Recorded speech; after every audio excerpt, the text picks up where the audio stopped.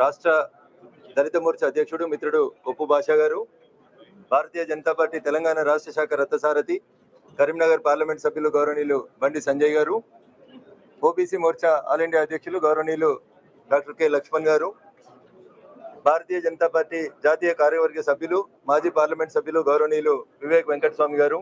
జాతీయ SC commission సభ్యులు అన్న రాములు గారు మాజీ శాసనసభ్యులు మాజీ మంత్రివర్యులు సుద్దాల దేవయ్య గారు నందీశ్వర్ గౌడ్ గారు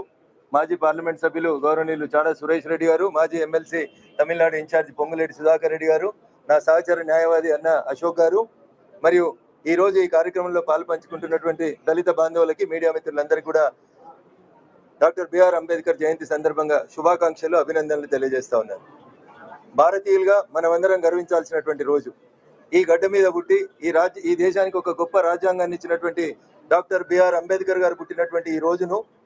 ఇంటర్నేషనల్ నాలెడ్జ్ డేగా ప్రకటించాలని యుఎన్ లాంటి సంస్థలు ఆలోచిస్తున్నాయంటే అంబేద్కర్ గారి యొక్క రాజనీతిజ్ఞత అంబేద్కర్ గారి యొక్క తెలివితేటల్ని ప్రపంచం గుర్తించింది కానీ ఇంకా ఈ రాష్ట్రంలో ఉన్నటువంటి ముఖ్యమంత్రి గారు కానీ ఈ రాష్ట్ర ప్రభుత్వం కానీ గుర్తించకపోవడం అనేది దురదృష్టకరమైనటువంటి విషయం. ఫామ్ హౌస్లు కట్టుకోవాలనుకుంటే ప్రగతి భవన్లు కట్టుకోవాలంటే నెలలలో కార్యక్రమాలు పూర్తయితే కానీ వంద ఇరవై ఐదు అడుగులు ఉన్నటువంటి డాక్టర్ బిఆర్ అంబేద్కర్ గారి విగ్రహం పెట్టాలంటే మాత్రం ఎనిమిది సంవత్సరాలుగా ఈ రాష్ట్ర ప్రభుత్వానికి తీర్తలేదు. నిన్నెవరో ఒక మంత్రి ఆడికి పోయి చెప్తాడు ఈ సంవత్సరం డిసెంబర్ కల్లా పెడదామని అనుకుంటున్నామని చెప్తాడు. ఇది అంబేద్కర్ గారి పట్ల అంబేద్కర్ గారి ఆలోచన విధానం పట్ల అంబేద్కర్ గారు రచించినటువంటి భారత రాజ్యాంగం పట్ల సంవిధానం పట్ల ఈ రాష్ట్ర ప్రభుత్వం అవలంబిస్తున్నటువంటి విధానం. నూటికి ఎనభై ఐదు శాతం ఉన్నటువంటి బీసీ ఎస్సీ ఎస్టీల ఐక్యతని కొనసాగించేందుకు ఈ రోజు భారతీయ జనతా పార్టీ రాష్ట్ర అధ్యక్షుడు గౌరవనీయులు బండి సంజయ్ గారు ప్రారంభించినటువంటి ప్రజా సంగ్రామ యాత్ర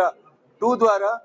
గ్రామీణ ప్రాంతాల్లో ఉన్నటువంటి ఎనభై ఐదు శాతం ఉన్న బీసీ ఎస్సీలందరినీ కూడా ఒక తాటి మీదకి తీసుకొని వచ్చి ప్రజల్లో చైతన్యం తెచ్చి బిఆర్ అంబేద్కర్ ఆలోచన విధానానికి వ్యతిరేకంగా పనిచేస్తున్నటువంటి ఈ రాష్ట్ర ప్రభుత్వాన్ని దించడానికి ఈ ప్రజా సంగ్రామ యాత్ర రెండవ విడతను అంబేద్కర్ గారి జయంతి సందర్భంగా ప్రారంభిస్తున్నందుకు అధ్యక్షుడికి శుభాకాంక్షలు అభినందనలు తెలియజేస్తూ గ్రామాల్లో ఉన్నటువంటి ఆయా వర్గాల సమాజం అంతా కూడా అధ్యక్షునితో కలిసి నడవాలని సవినయంగా విజ్ఞప్తి చేస్తూ ప్రపంచం గుర్తించినటువంటి మేధావి గౌరవనీయులు అంబేద్కర్ గారి జయంతి సందర్భంగా ఈ దేశ ప్రజలందరూ కూడా శుభాకాంక్షలు అభినందనలు తెలియజేస్తా ఉన్నారు